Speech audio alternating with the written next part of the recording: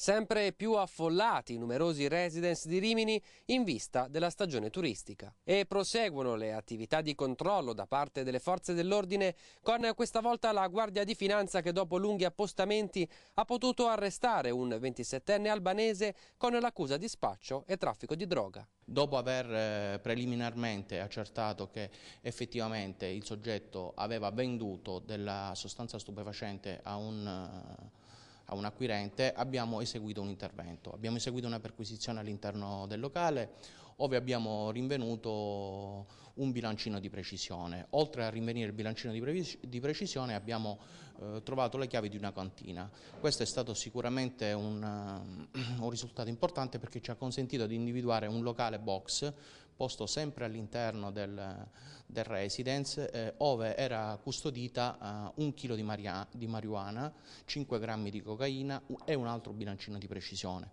Inoltre nel corso dell'operazione sono state rinvenute eh, due pistole eh, giocattolo a salve eh, modificate mediante l'asportazione del tappo rosso di sicurezza.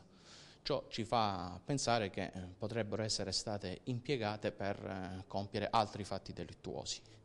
Inoltre eh, abbiamo anche rinvenuto del materiale da scasso e un passamontagna.